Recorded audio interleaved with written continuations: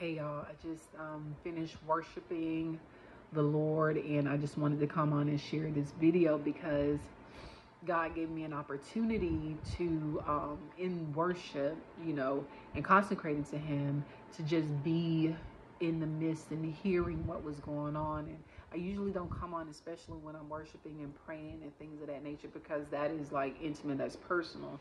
You see from a shirt that um I had a weeping moment, but um, and probably still in that in that process. But I wanted to share with you guys that um, the Lord gave me an opportunity to um, say goodbye to one of my angels, and um, I didn't even know that was even possible. But just to um, hear that he was leaving, it just broke me, y'all, because this angel was there when I was being um, attacked uh, by witchcraft in my old home. And he was there in the middle of the night when the Holy Spirit will wake me up and let me know that, um, you know, evil was lurking. And um, he will allow me to see him like there, ready in his stance, ready to, you know, battle. And this is not make believe, y'all. This is real. And so, for me to hear that he was leaving and even to hear his next assignment it just blew my mind. And um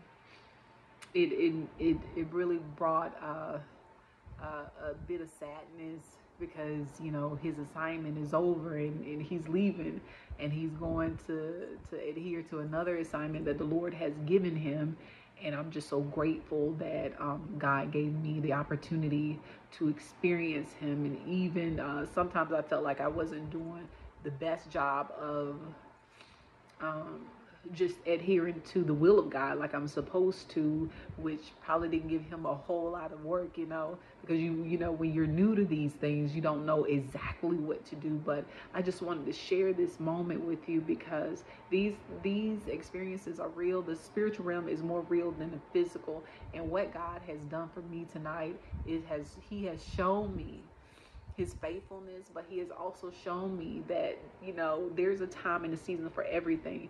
And all angels that are with you will not be with you for the long haul, praise God.